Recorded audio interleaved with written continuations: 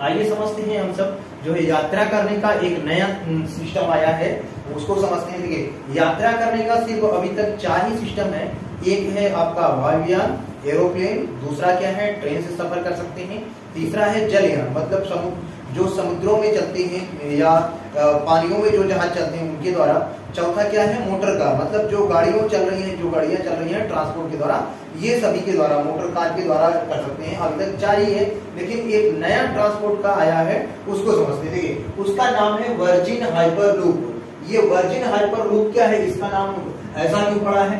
देखिए virgin hyper loop की एक कंपनी है वर्जिन हाइपर लूप की एक कंपनी है, उन्होंने ये बनाया है ये सिस्टम इसी के नाम पे इनका बना है वर्जिन हाइपर लूप इस पूरे कंपनी का नाम है Virgin hyper loop one mean जो कंपनी ये बना रही है, जो टेंडर लिए उस कंपनी का नाम है वर्जिन हाइपर लूप वन देखें, इसमें क्या है?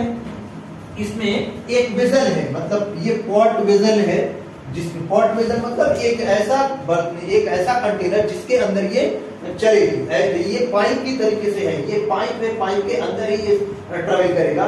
देखिए और ये पाइप कैसा रहेगा? ये पाइप रहेगा ट्रांसपेरेंट ट्रांसपेरेंट बात करें तो जो आर पार दिखता रहेगा।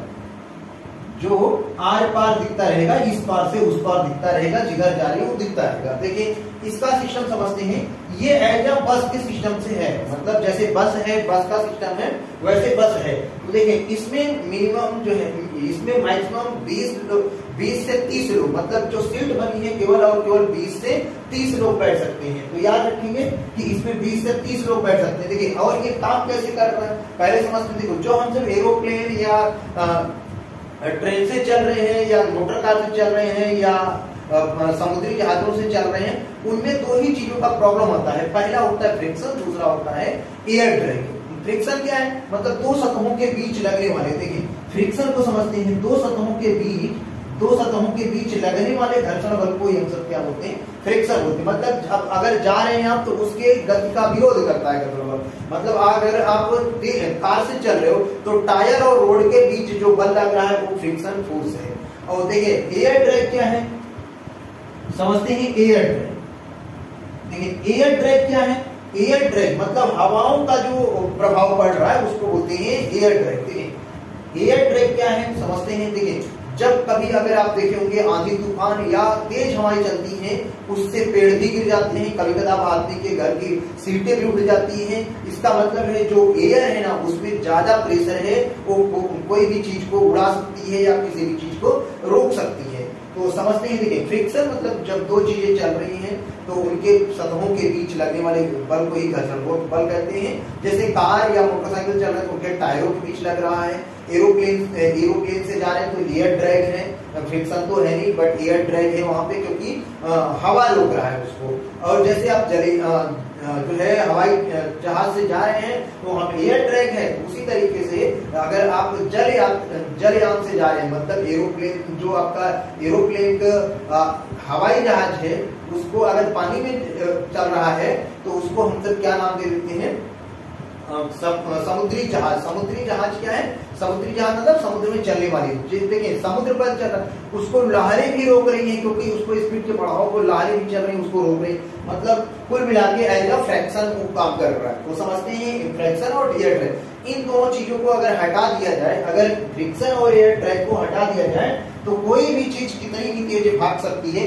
इसी सिस्टम इन दोनों को हटाने के लिए एक कंपनी बना रही है, एक नया सिस्टम समझते हैं वर्जिन हाइपर लूप वन देखिए, इसमें क्या है? ये किस पे चलेगा? देखिए, इसमें क्या है? ये जो है इलेक्ट्रोमैग्नेट पे चलेगा। इलेक्ट्रोमैग्नेट क्या है? समझते हैं जो विद्युत चुंबक होते हैं मतलब जितनी देर आप करंट सप्लाई करोगे, उतनी देर करंट ये जो है मैग्नेट को जनरेट करेगा। जैसे ही शट ऑफ़ हो जाएगा पावर वैसे ही मैग्नेट खत्म हो जाएगा। तो समझते इसको हम सब क्या बोलते हैं? एज अ टेम्परेरी मैग्नेट तो ये जो चल रहा है, इसका देखिए, इसका कलर कैसे होगा? इसका कलर ब्लैक होगा। देखिए अब इस हाइपर जो है हाइपर लूप को समझते हैं। एक पाइप लगा रहेगा, उस पाइप के अंदर एक बस की तरह चलेगा और उस बस का कलर कैसा होगा? ऐसा ब्लैक होगा। ब्लैक क्यों हो रहा है? उसको समझाते हैं अभी। तो बस जो चल रही है, जिसको हम सब बस बोल रहे हैं, उसका नाम इस कंपनी ने दिया है पॉड पी डी पॉड उस कंपनी ने इसका नाम क्या दिया है? पॉड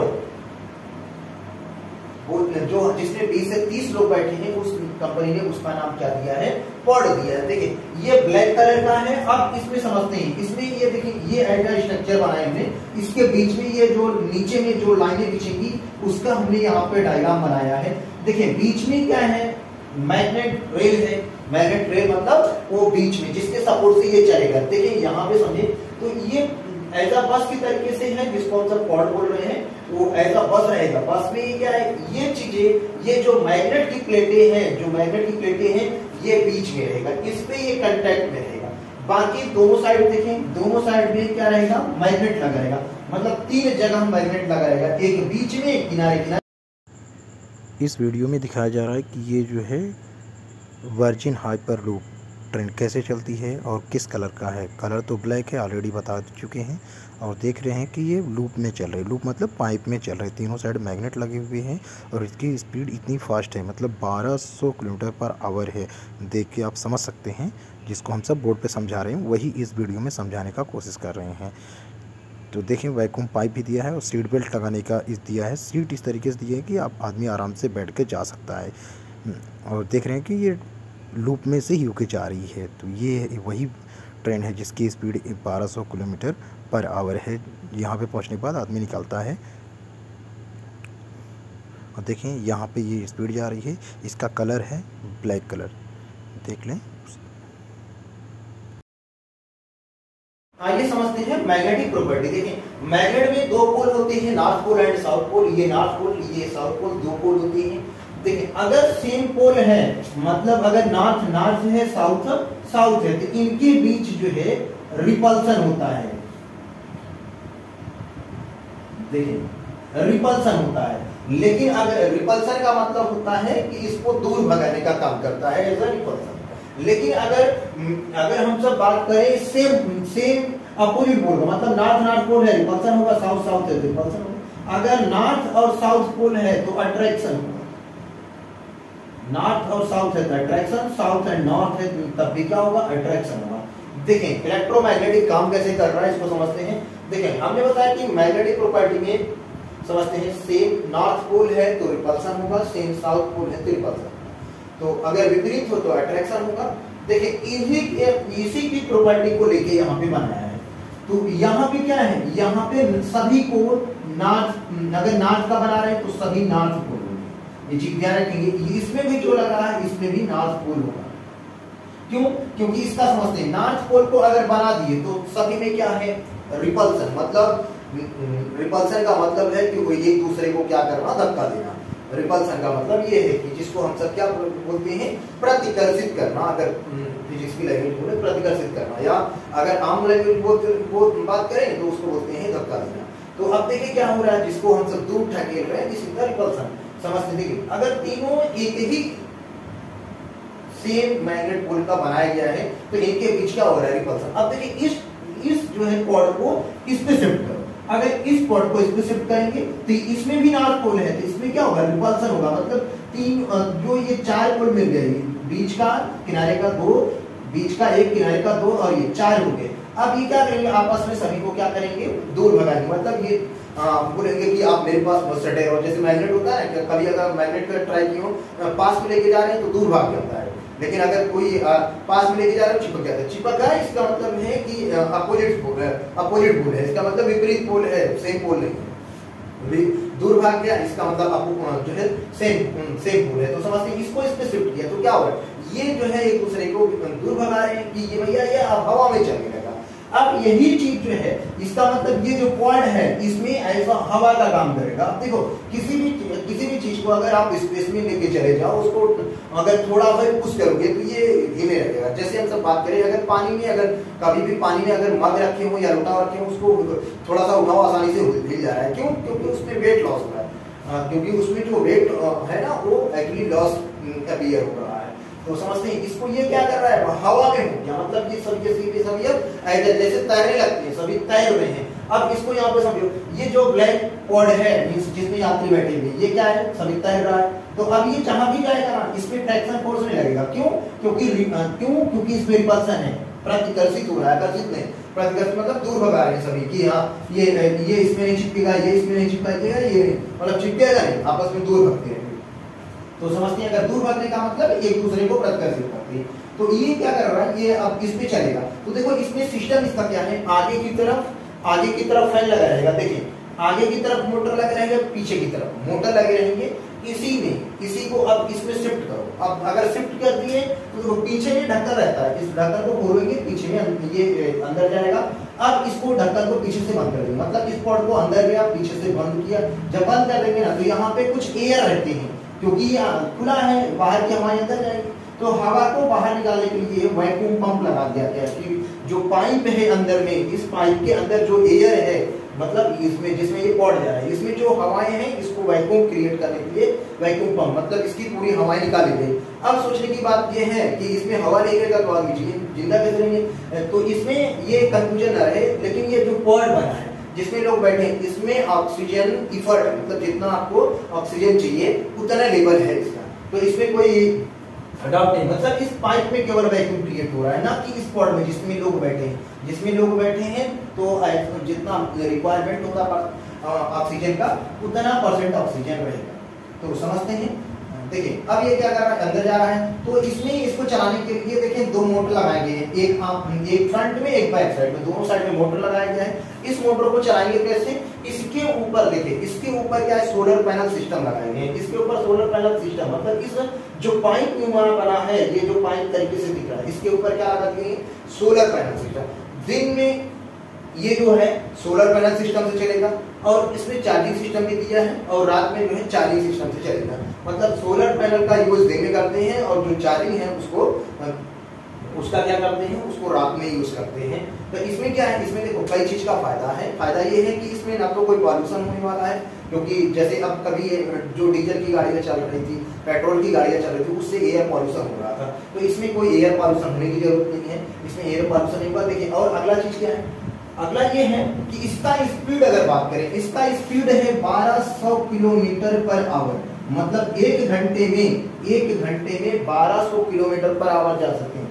अब समझते हैं, ये ये चीज़ें अभी हमारे जो डेवलपमेंट कंट्रीज़ हैं, उसमें लगा है, जैसे चाइना हो गया जापान हो गया यूएसए हो गया यूएई हो गया तो इस जगह अभी ये चल रहे हैं। लेकिन अपने भारत में भी अभी काम चल रहा है जो है मुंबई से लेके पुणे। मुंबई से पुणे के बीच की दूरी देखिए।